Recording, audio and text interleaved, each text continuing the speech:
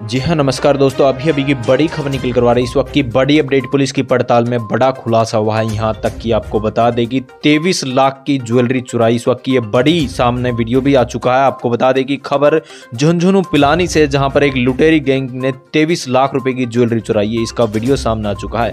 दुकानदार को बातों में उलझाकर हाथ साफ़ किए। इसमें सीसीटीवी वीडियो में रिकॉर्ड हो गई। इस वक्त की ये बड़ी अपडेट जहाँ पर आपको बता दें कि पीड़ित ज्वेलर कृष्ण सोनी ने बताया कि प्लानिंग के मेन मार्केट में गढ़ स्कूल के पास हमारी रामकरण सोनी गाडोली वालों की ज्वेलरी शॉप है।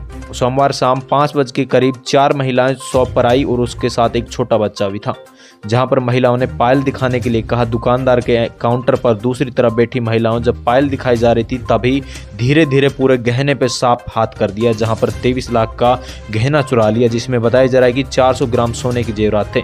22 और तेईस लाख रुपए के कुल कीमती गहने चुरा लिए। फ़िलहाल पुलिस ने कार्रवाई दर्ज कर ली है, मामला अनुसंधान में ले लिया है, आगे की कार्रवाई जारी है। सो दोस्तों, प्रदेश भर की तमाम खबरों के लिए बने रही चैनल पर, नए विज़िट करें, चैनल को लाइक, शेयर, सब्सक्राइब करें। जय हिंद दोस्तों।